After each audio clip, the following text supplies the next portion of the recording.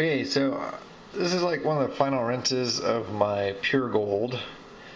And annoyingly, there's a little bit of the gold floating on the surface tension of the water. So I'm going to try the trick of the uh, jet dry to see if it uh, gets that little cloud of gold sitting on the surface to go ahead and settle down with the rest of the gold. So,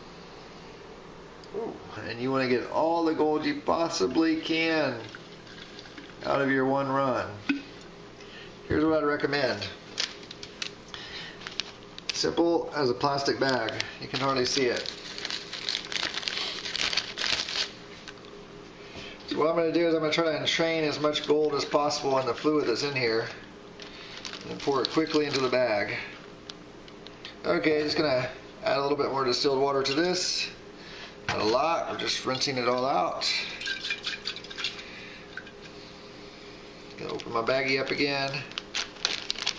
Distilled water stirred in there real good. Dump quickly.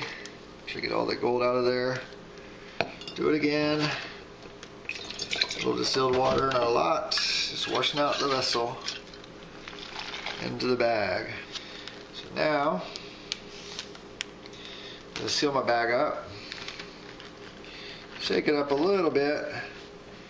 And let the bag settle like that until all my gold, uh, until the solution goes clear. Now I have some jet dry in there so that it doesn't, uh, no gold floats on the surface. Okay, so I let this stuff settle overnight, and so the fluid in the bag's gone pretty clear, so that means most of the gold settled down.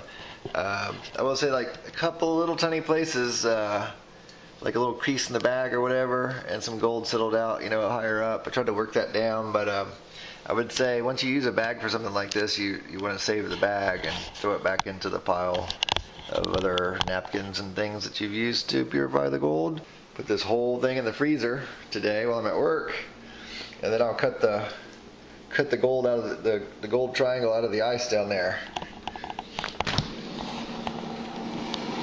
So in the freezer you must go. What I'm going to do here is just saw through my block of ice to cut this bit with the gold in it.